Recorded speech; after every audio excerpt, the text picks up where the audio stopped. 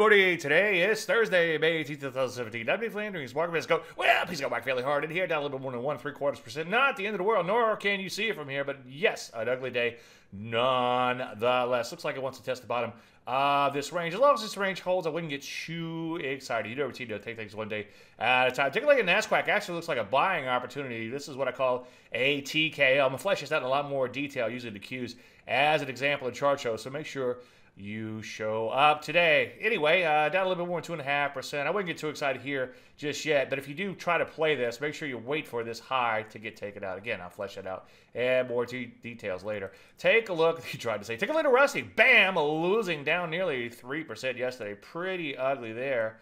How's that for uh, an oxymoron from trend following moron? Looks like the bottom of his range could be the next stop. As you'd expect, a lot of areas got hit fairly hard, especially those areas that were getting kind of hit to begin with. Again, I'm going to flesh all this out in a lot more detail later than in chart show. Any questions? As usual, Dave, DaveLandry.com. I'm Dave Landry, Mark Minute.